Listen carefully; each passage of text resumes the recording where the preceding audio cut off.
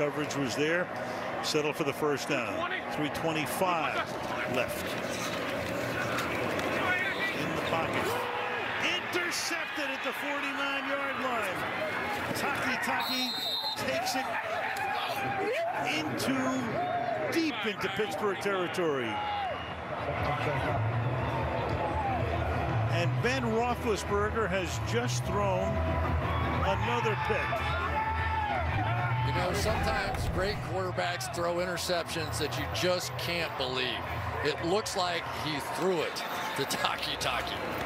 You can see what happened. He had Ebron coming across, and he simply never saw Sione Takitaki, who just made one of the biggest plays in Cleveland Browns franchise history.